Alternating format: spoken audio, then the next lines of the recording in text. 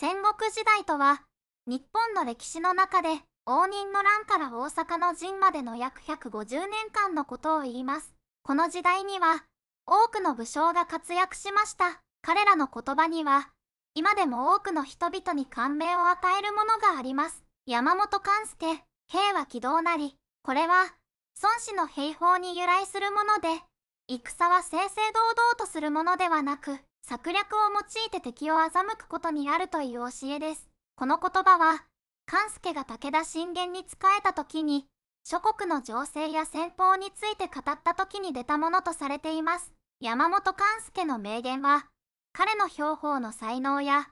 武田信玄との信頼関係を示すものとして、後世に伝えられています。山本勘介は、武田信玄の軍師として知られる人物で、